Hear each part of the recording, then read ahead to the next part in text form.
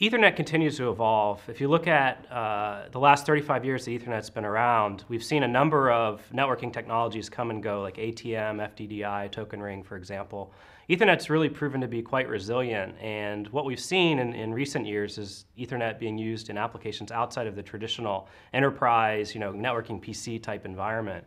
Uh, in particular, uh, data center computing, network areas, network storage, and uh, long haul telecommunications is starting to adopt Ethernet.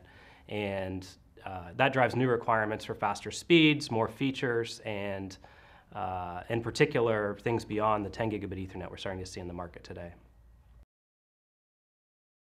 Well, in response to the uh, new applications that are being used with Ethernet, uh, we are seeing a need for uh, speeds beyond 10 gigabit Ethernet. In particular, 40 gigabit Ethernet is being defined currently by the IEEE for storage area networking and data center computing networks.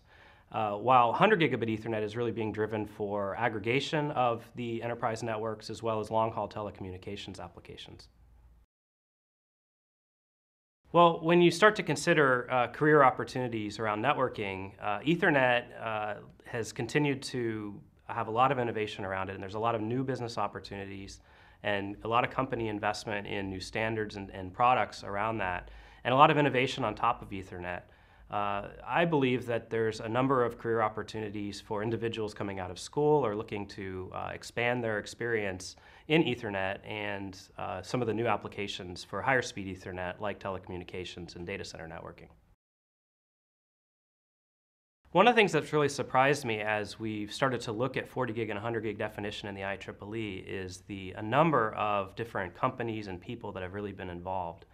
Uh, everyone from silicon vendors to system vendors, end customers, telecommunications end customers, data center end customers, uh, a whole ecosystem of, of, vendors and customers have really come together to help define the future of Ethernet, and it's really exciting and, and quite surprising.